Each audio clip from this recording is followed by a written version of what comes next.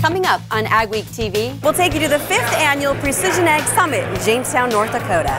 Bean growers get tips and tools for improving their crops for the upcoming season. And South Dakota researchers are working to decrease losses to winter kill in winter wheat.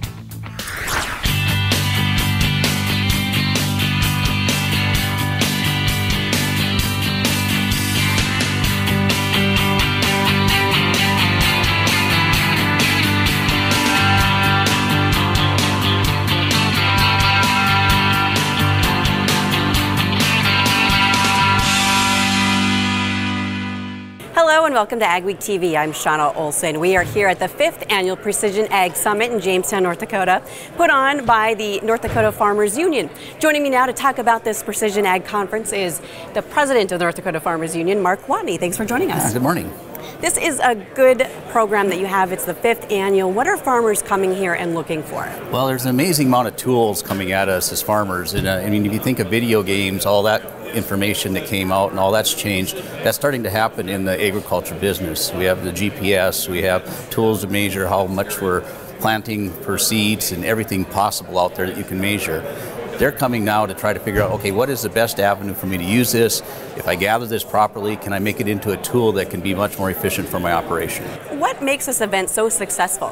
Well, it's that desire of farmers to learn. Uh, in the past, of course, the last few years prior to this one, they had a fair amount of dollars that they were making and they were able to uh, upgrade their technology. Now they're needing it to try to make themselves more efficient so they can be more profitable understanding that we have lower commodity prices. All right. What are some of the biggest questions you're finding farmers have right now?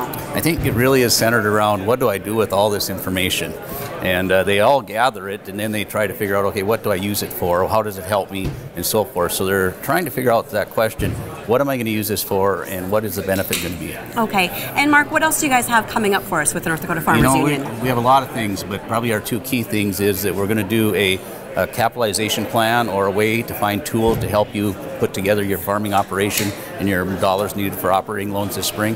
We'll have the FMHA and BND and any other programs we can bring to you to help you with that. All right, yeah. very good. Thanks for joining us, Mark Watne with the North Dakota Farmers Union at the Precision Ag Summit in Jamestown, North Dakota. We're going to kick it now over to Tracy Frank, who also met with one of the speakers today at the Precision Ag Summit and has more. Tracy? Shauna Howard Dahl of Amity Technology says precision agriculture will allow farmers to do things they've never done before.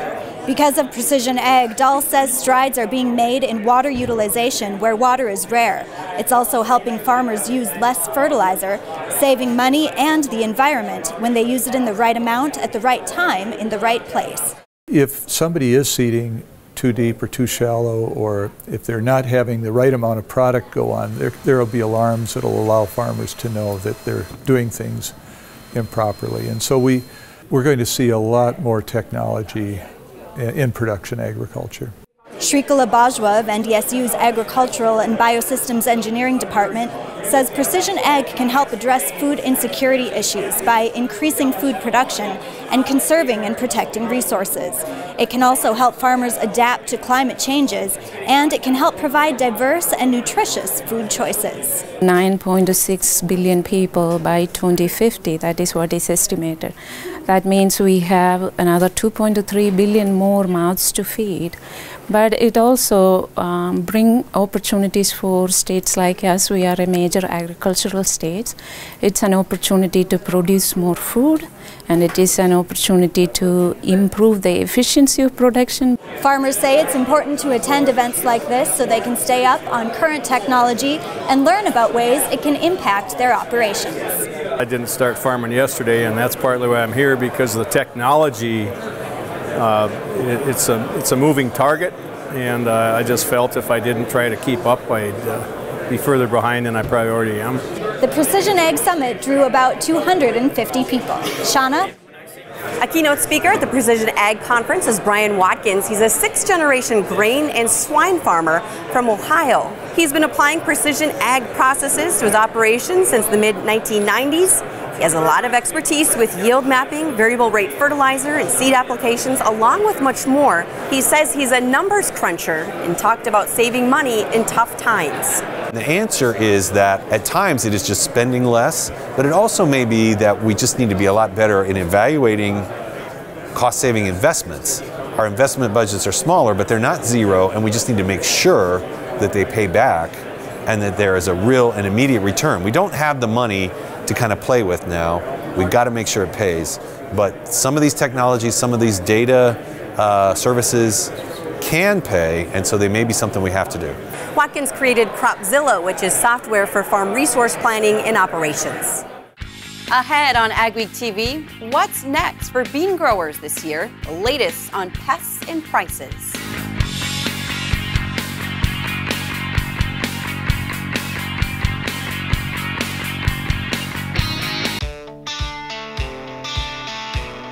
How did we become the region's largest independent seed company? By taking a very simple but powerful stand. We will sell no seed that we wouldn't be happy to plant on our own farm. Peterson Farm Seed. Stand tall. Drainage Solutions is experienced in the tri state area. Their skilled employees will design, implement, and maintain the best drainage system available. Drainage Solutions uses state of the art equipment along with the best data resources available to design a drainage system that they guarantee will be both efficient and cost effective. Whether you're considering drain tile for the first time or adding to your existing drainage system, let Drainage Solutions design the most appropriate site specific drainage for your needs. Total Ag Industries is the leader in total control. Their custom built fertilizer systems are the crown jewel of the Total Ag lineup. Total Ag systems come with a fully customizable fill system, and the variable rate hydraulic drive system works with John Deere displays for real time feedback and complete fertilizer monitoring. Total Ag's field tested design allows precise control and accurate application in your fields for better yields and more profit. Contact Total Ag by phone or visit totalag.com. You kids stay in the car. I'll be right there. Honey, I'm gonna need my Carhartts. When you pull on a set of Carhartt Extremes from Home of Economy, it's like wrapping yourself in a suit of armor, which can come in handy because sometimes being a parent feels more like being a superhero, and battling the elements is just another part of the job. Find your Carhartt Extremes at the guaranteed lowest price, only at Home of Economy, where your dollar buys more. Who do you call when you have grain dryer issues? His number is probably already on your phone. Guy Kittleson of American Farm Equipment, 701 793 8804. With over 35 years' experience in grain dryer sales, Guy was grain dryers before grain dryers were cool. He sells and services American, Chief, and Deluxe grain dryers with capacities from 200 to 10,000 bushels per hour. Guy works on them all, but when it comes to confidence and dependability in your grain dryer, buy from Guy. Guy Kittleson, American Farm Equipment. Bean growers learn the latest tips and trends for growing better beans at the annual Northarvest Bean Day. Agweek's Mikkel Pates was there and reports on some of the challenges growers are facing this year. Northarvest Bean Day is the day that growers get a good look at 2016 and the issues they'll face in the market and in technology. Bean breeding, pests, and acreage competition are the top things on their mind. Our markets are saturated today with, we grow 14 classes in the United States, every one of them are in a carryover position. We don't dare grow any more than we did the years past. We basically want everybody to understand that stability is the, is the game right now. They just got to keep their foot in the door and not overdo it this coming year. We saw a lot of bacterial blight. I think almost every field in the state had bacterial blight. The next thing is white mold. So we actually saw a little less white mold than a lot of people expected. The last is rust, and we saw a lot more rust. 60 to 70% of the fields had some level of rust.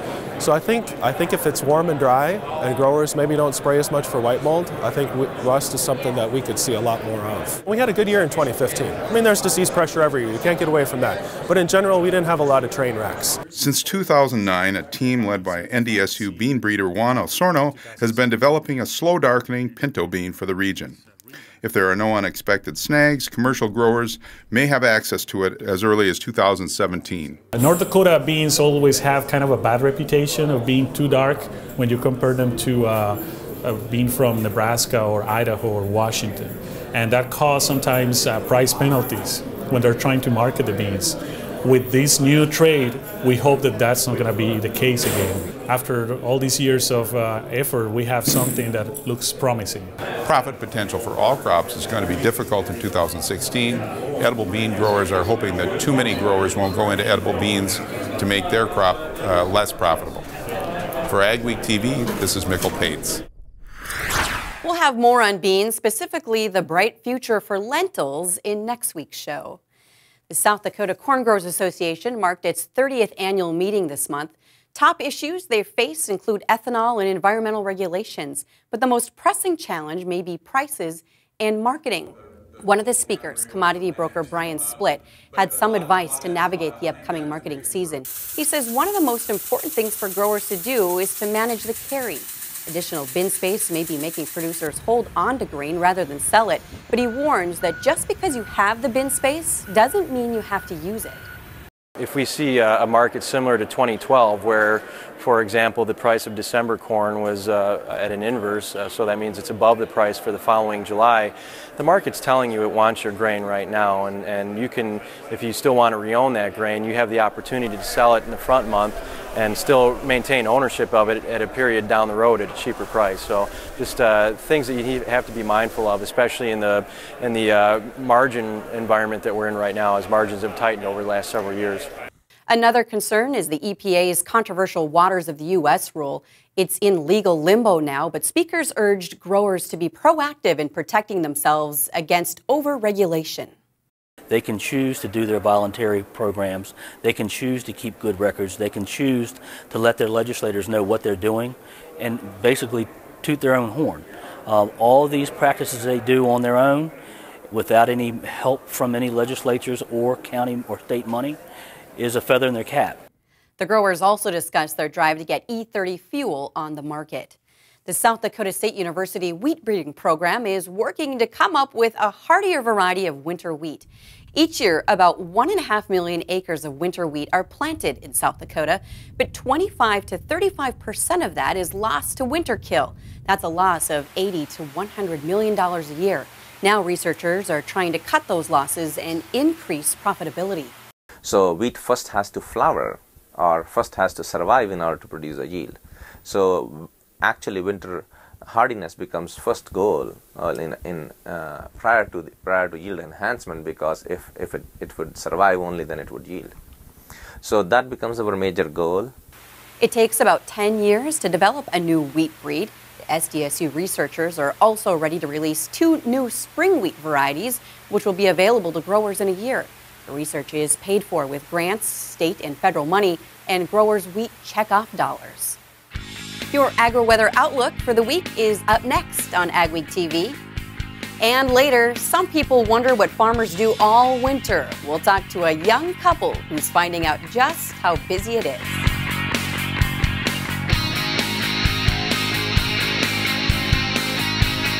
It's three windows in one. It's the Euro series by Minnkota Windows. It's a picture window. One turn of the handle and the unit tilts in for ventilation. A second turn swings the sash inward. Easy to clean from the interior and available as a window and patio door. Durable hardware allows for larger single units and tremendous safety. And of course, it's covered by the industry's best warranty. The Euro series by Minnkota Windows. Midwest built, Midwest tough, guaranteed for life.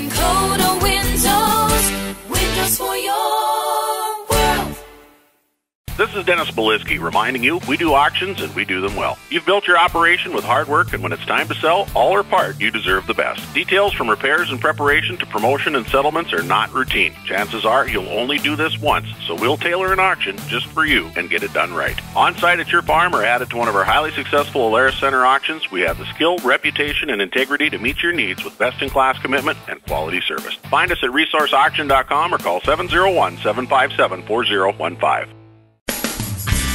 Pronovost snowblowers, just what you need. Lots of standard features and 33 models available in the colors you want. The high level of manufacturing and performance standards assures you of owning the superior, most advanced equipment. Snowway is the leader in designing snowplows with a big appetite for snow. Whether you're seeking a snowplow for your truck, skid steer, or UIV, Snowway has a highly engineered snowplow to fit your needs with a variety of options. For Pronovost snowblowers or Snowway snowplows, contact your nearest dealer or North Country Marketing as a manufacturer, if you don't actually farm, There's so many places where you go wrong if you really don't have a true gut feeling for the end result. From the seed placement, fertilizer placement, packing, weigh scales, variable rates, everything that we have is put there to make you more money. At the end of the day, we guarantee that with Super Seed Guarantee. Tightline Drainage is the Red River Valley's most trusted name for tile. Tightline uses the Port Hydromax plow and also Port Hydromax trenchers for installing our laterals and mainline accurately. The science behind drain tile proves healthier plant growth and greater yields. Tightline Drainage also sells pipes, fittings, tiling plows, Landoll tillage equipment, and more. Tightline Drainage is owned and operated by experienced agricultural professionals who understand the need for progressive agricultural practices. Call Tightline Drainage for a free drainage design today at 701 235 1900. Weather portion of Ag Week this week. We'll start off with the overall outlook. Arctic air is in retreat across North America. We've had it descend the last couple of weeks down into the northern plains. Much of the Midwest has had some pretty cold weather. Not really crazy cold for January, but a definite cold snap. Well, now that stuff is going back toward Hudson Bay and the far north. Secondly, the rains and mountain snows continue for the Pacific Northwest and northern half of California. Still not looking for much in the southern part of California, which does have some significance for the overall national drought outlook. Meanwhile, I do see at least another pretty good chance, not necessarily this week, but next week, of another snow system, perhaps a big one, in the Midwest to accompany the one that's ongoing this weekend along the eastern seaboard. But before we get to all of that, the last few days, the last little bubble of cold high pressure working through the Great Lakes, bringing Behind that, some strong south winds, which ushered in a pretty nice warm front, setting the stage for a nice weekend warm up and lots of thawing weather across the northern plains. And it does look like this milder temperature regime will hang around for a while. I don't see a lot of super above average weather, but we're settling into a lot of average January temperatures with some above average temps over the next few days. As I mentioned, Arctic air has gone in retreat. It's hanging up around Hudson Bay right now. The polar jet stream weakening quite a bit. The southern branch of the jet stream remains very much the strong one, and that's so typical, very classic El Nino weather pattern. As we move through the week, the northern branch will flip flop around, bringing us the occasional milder day. It retreats to the colder day in the northern plains, upper Midwest. Any storm action this week is going to be along this southern jet from Florida along the eastern seaboard. I just don't see a lot of heavy weather in the Great Plains with this one. Toward the end of the week, though, another strong jet stream energy streak will be approaching the west coast, should bring some more significant moisture to parts of the Pacific Northwest down through northern California, and that eventually may turn into a Midwest snowstorm sometime the following week. Let's take a look at the actual forecast then. First of all, there will be plenty of moisture out in the northwest, down through about San Francisco, but not much further south. Much of the southern plains, including Texas, will be dry. And in classic El Nino pattern, we've got a big rainstorm in the southeast and, of course, all that snowfall in Washington the last few days. This coming week, I don't see a lot of moisture, at least nothing out of the ordinary across the northern plains. Next week, that could be different, though. I do think the Pacific Northwest will stay rainy. Still not much for the LA basin. The southeast will again be rainy rainy, and I think there's a pretty good chance for a rain and snow system through the Midwest, probably centered on Iowa sometime around that first week of the February. Northern Plains probably missing most of the action. Where do you go for the latest news in agriculture? Agweek Magazine. Reaching over 30,000 farmers and ranchers in North Dakota, Minnesota, South Dakota, and Montana. Agweek provides the most up to date information on the markets, the trends, and the people who make it all happen. We're your source for news, not fluff. Dependable, trusted, Ag Week. Subscribe today by calling 1 800 811 2580. Commitment. You need it to succeed on the farm. It's total dedication to the land, family, and community. It's more than a way to make a living, it's a way of life. You've had it since the first time you ran your hands through the soil, helped bale hay, or rode along in the combine. Your commitment, it's as strong as your family's trust, as honest as each long day you put in, and as pure as the opportunity that comes with every tomorrow. It's how we build our bins, with proven design, superior structural integrity, a lifetime warranty, and a promise to stand with you. No matter what storms come your way, the harvest will always be protected so you can sell when it's right for you, your family, and your farm. Commitment. It's why we can say there's nothing standard about superior. It's time to demand more. With Micro Essentials, you get more from every acre. Through our fusion technology, only Micro Essentials combines four vital nutrients into one powerful granule, ensuring uniform nutrient distribution and increased nutrient uptake. The innovation behind our fusion technology means you'll grow stronger, healthier plants. Micro Essentials. Get more from every acre. The North Dakota Department of Agriculture is committed to staying on top of policy and regulation changes and how they affect you. Regulations such as OSHA's anhydrous ammonia policy and EPA's Waters of the U.S. and the Clean Air Act. We'll fight for common sense solutions, and we need your help. Follow us at nd.gov slash ndda to see the latest policy and regulation changes and learn how to submit comments about the issues that affect you. Ag Week TV, presented by Peterson Farm Seed. Many farmers are using unmanned aerial systems to get a good view of their fields. But a Minnesota implement dealer has started offering a data collection service using a Cessna airplane. Haug Implement of Willmar started doing aerial imagery in 2014 using drones and other unmanned aerial systems. While the images are high resolution, Haug soon found UAVs weren't efficient enough for what they wanted to do on a large scale, so they turned to airplanes.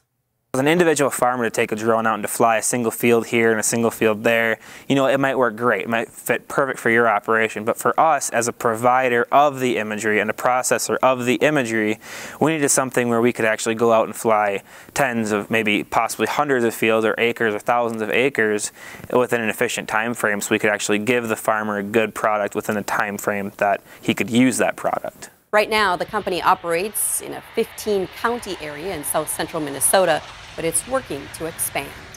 The NDSU Extension Service is looking for people who want to get involved in the organization.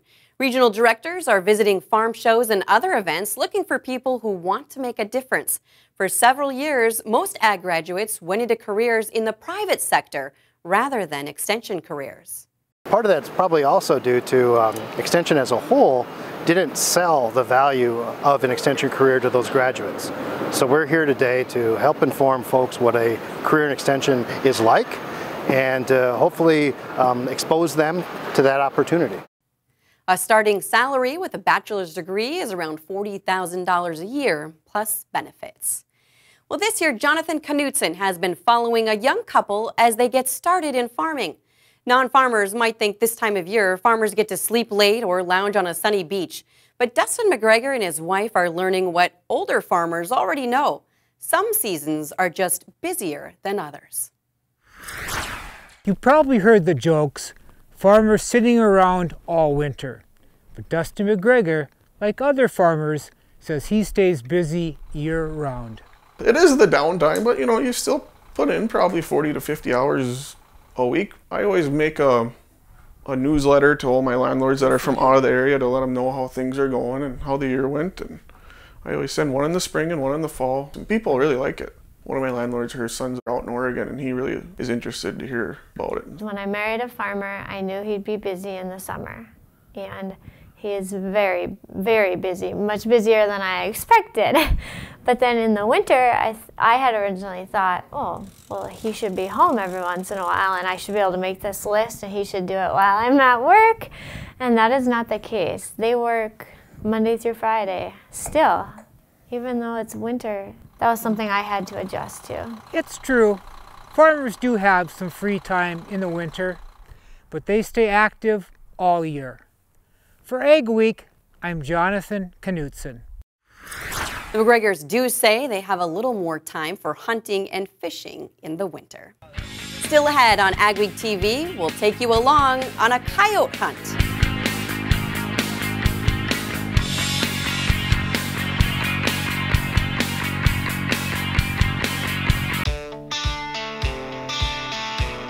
How did we become the region's largest independent seed company? By taking a very simple but powerful stand. We will sell no seed that we wouldn't be happy to plant on our own farm. Peterson Farm Seed. Stand tall. Upgrade your trailer to electric with the Rolltech electric system from AgriCover. Strong, flexible pivot arms and motor mount rotate and telescope, allowing the roll tube to rise and flex over heaped loads. The positive automatic lock is impossible to back off to control the flow of grain. This integrated system uses one wireless remote to operate up to 10 tarps and hoppers, keeping your driver out of the dust, rain, and harm's way. See the Rolltech system in action at an AgriCover dealer near you. Soybean producers plan to attend the Northern Soybean Expo February 2nd at the Fargo Holiday Inn. Beginning at 7:30 a.m., enjoy a buffet breakfast with soybean researchers. Highlights of the day include a live taping of the U.S. Farm Report, moderated by John Phipps, Dr. Barry Asmus, senior economist with the National Center for Policy Analysis, and Dr. Bill Wilson, professor in the Department of Agribusiness and Applied Economics at NDSU. That's the 2016 Northern Soybean Expo, February 2nd at the Fargo Holiday Inn.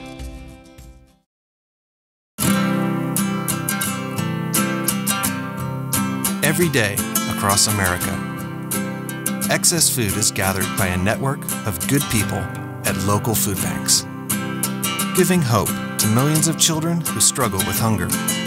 They've earned their wings, and you can too. Together, we can solve child hunger. Support Feeding America and your local food bank at feedingamerica.org. Where do you go for the latest news in agriculture? Agweek Magazine. Reaching over 30,000 farmers and ranchers in North Dakota, Minnesota, South Dakota, and Montana. Agweek provides the most up to date information on the markets, the trends, and the people who make it all happen. We're your source for news, not fluff. Dependable, trusted. Agweek. Subscribe today by calling 1 800 811 2580. Hunters were on the prowl for coyotes as they competed to see who could bring in the most in a one day hunt. The competition was put on by the Enderlin Sheldon Wildlife Club.